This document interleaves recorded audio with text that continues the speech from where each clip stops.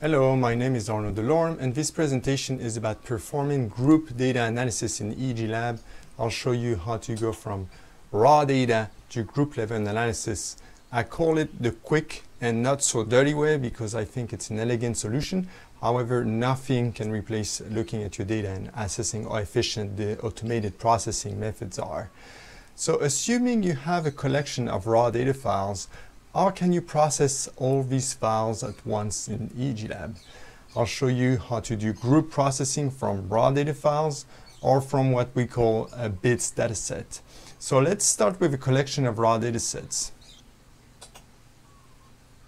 And so we are going to browse for datasets. We're going to import MFF files here a type of file. You can import other types of file. The advantage of this one, you can import many files at the same time. Otherwise, you have to import them one by one. Here, EEG Lab asks if you want to uh, resave all these data files as the EEG Lab file. So you answer yes, of course. And now all the files are imported. And then the next step is to uh, create a study from these data sets. And the only thing you have to do is create study using all loaded data sets. For this specific data, even the subject name is filled up, otherwise you have to fill it up uh, by hand. And here you have created a study. So now, uh, now we have to import, uh, we have imported raw data and created a study. And before you, I show you how to process this data, let's see another way to import uh, raw data. If the data is formatted in the BIDS format, then we can import this formatted data. The brain imaging data structure or BIDS is a way to name your folders and your file for an experiment as well as adding a collection of formatted text file so it follows the BIDS specification.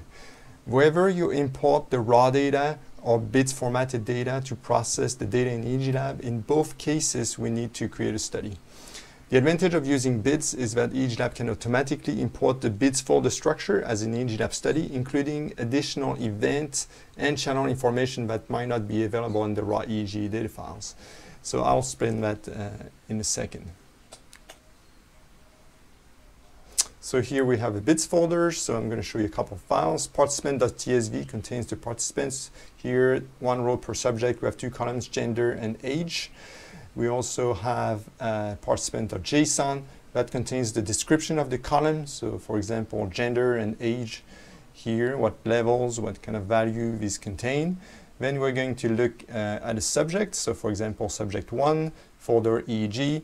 And this folder has all subjects have free run. So this is run one, run two, and run three. And for each run, you have a collection of data files. For example, channel.tsv contains the channel information. Here, the type of channels. And then you also have electrode.tsv that contains the position of uh, the channel on the scalp. And so here we see the position. And then we have event.tsv uh, contains the event, one row per event. And uh, there's many of them here. Two columns are important here, value or trial type. And this we can import as the type of uh, EEG Lab event. And so before I process this data, with three runs, which means three blocks of data. We only need one really to process in EEG Lab and also it will be faster. So here I'm going to remove run one and run two and only process run three. You can also import all the runs. That's not a problem. It's just going to be slower uh, to calculate in this case. And this study is available in the description below, by the way.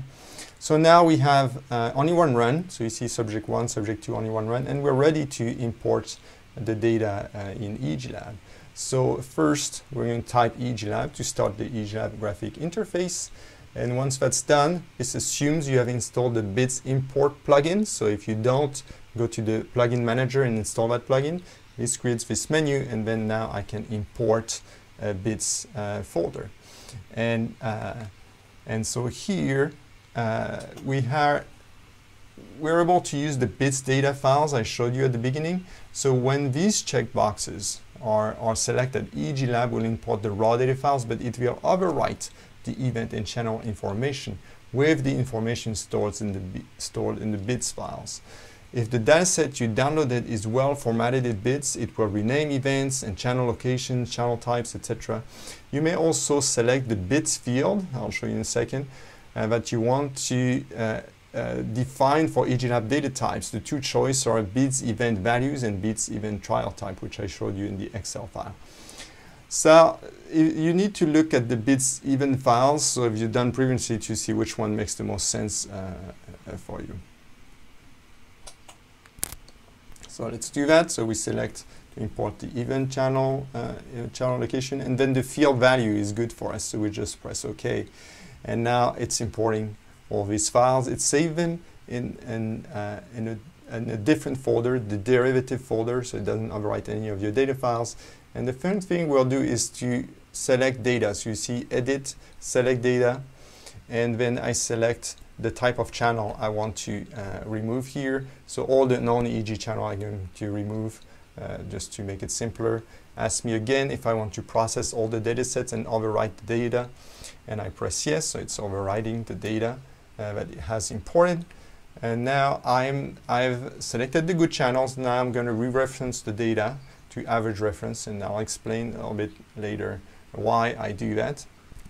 So now it's referenced to average reference, and now I'm ready to uh, remove artifact in the data.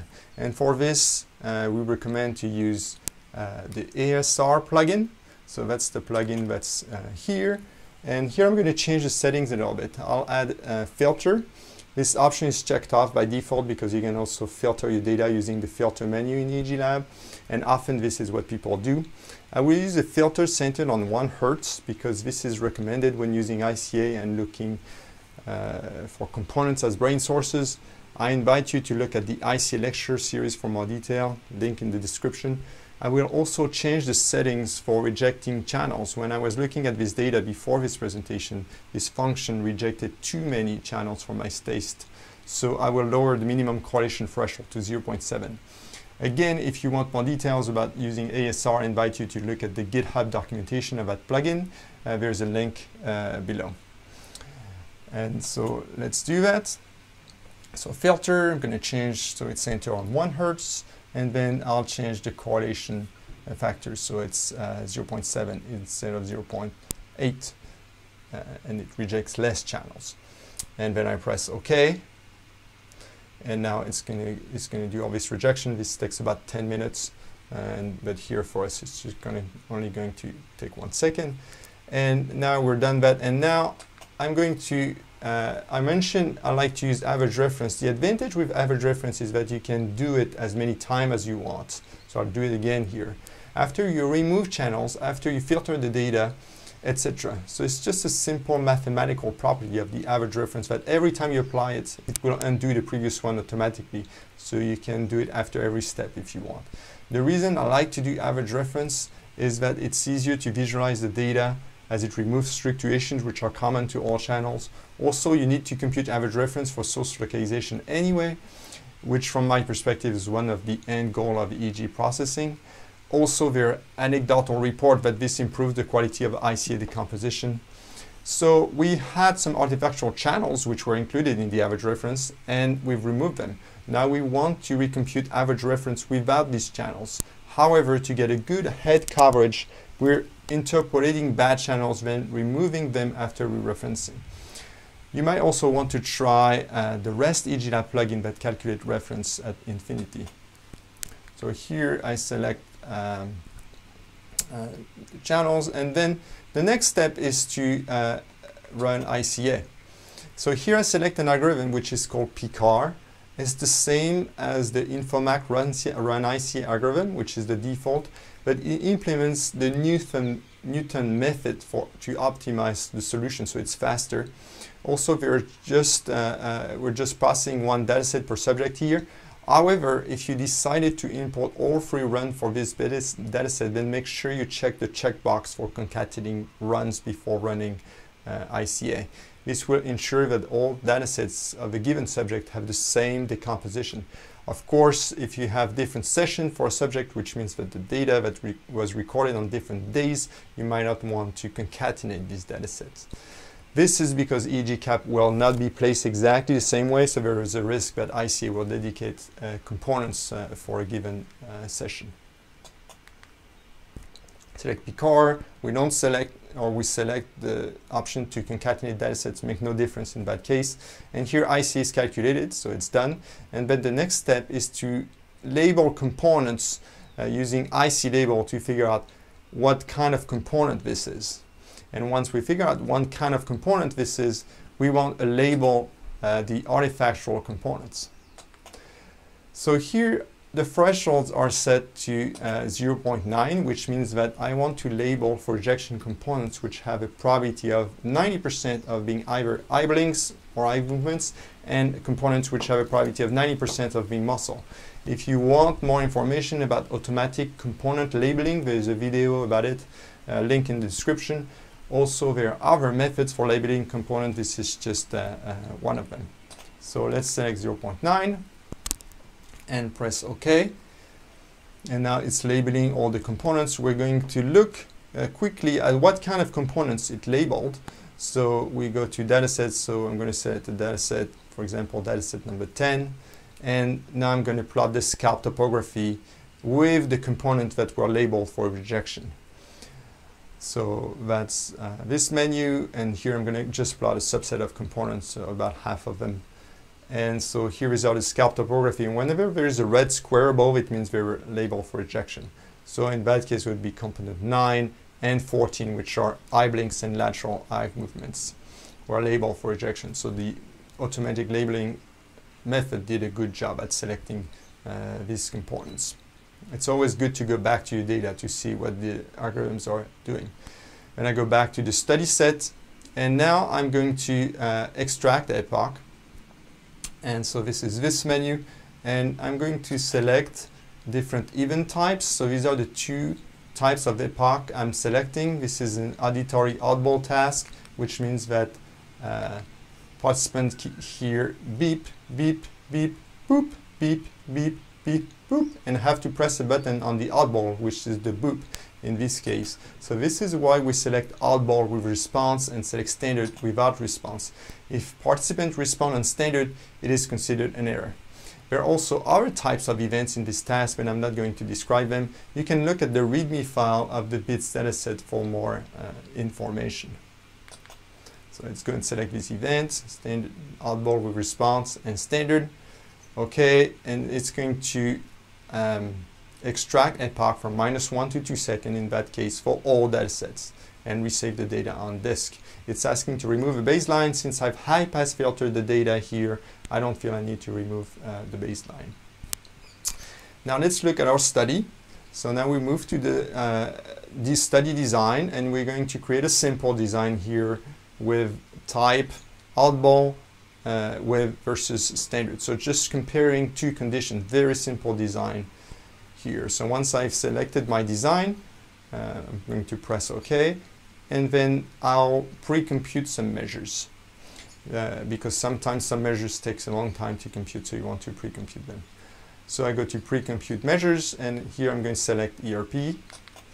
And I'm also selecting pre the components pre-labeled for ejection by checking the right checkbox. I'm only going to pre-compute ERP here because it's quick and I just want to illustrate group analysis, but you can also compute spectrum, ERP, and ERP image. And so let's do that. We press OK. And of course, this is uh, speed up here. It doesn't take very long anyway. The, the ERP are computed. So let's visualize our data. So that's the next menu on the list. And I'm going to select channel PZ for visualization and just plot the ERP and we're going to see the oddball on the left and the uh, standard on the right. Here it's reading data in real time so that's why it's taking uh, some time. And so here here you can see the oddball on the left and the standard. I'm going to plot them on top of each other here by checking this checkbox in the option and so here we go. So we can clearly see the difference between the two types of, of trial and clearly the peak, the P300 peak. And now I'm going to plot the topographies. So to plot a topography, uh, as you have seen, I selected all the channels. Then I need to select a time range and also I need to change the plotting options to plot scalp topographies. EEGLAB will average the electrode potential in the time range of interest be before plotting the topography. So here we go, we're going to select 300 to 350 millisecond and then the option to plot the, the topography right here. Press OK and then again we plot the ERP, plot ERP and now we have the two scalp topography. And so here you see a clear P300 scalp topography. So we've been able to perform group analysis starting from raw data in a little bit less than 10 minutes. I cut the video segments where EEGLAB was computing measure and most of the time consuming processing on these datasets were ASR and ICA which took about 10 minutes each. So realistically it would take about 30 minutes to process this BIDS dataset and about an hour and a half if I was including all the runs from all the subjects. And uh, I also wanted to mention that uh, you have the history of all your actions performed on the interface. You can easily save that script and run it again. It would then re-import the BIDS dataset, perform automatically all the operations you've done manually. It's always a good idea to save a script for future reference. It's in the File tab under Script History. And I want to thank you for your attention and I'll see you in one of the future videos.